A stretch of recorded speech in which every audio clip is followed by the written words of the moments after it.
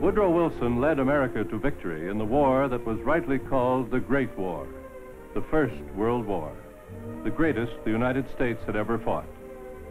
Simultaneously, Woodrow Wilson fought another great war, the greatest ever waged against hunger and pestilence, famine and disease. In this crusade, his commander was Herbert Hoover, who was also high in the councils that set the conduct of the war itself.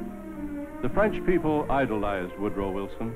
He was the hope of the war-weary masses of all Europe.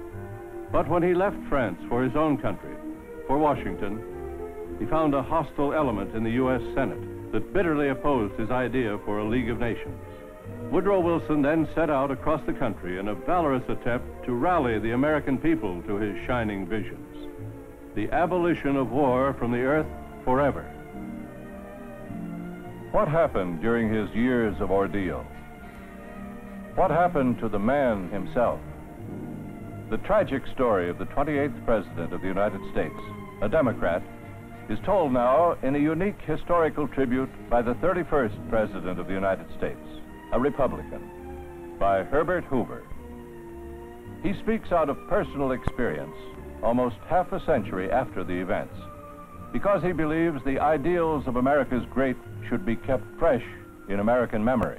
I served for three years directly under Woodrow Wilson in Washington and at the Peace Conference in Paris.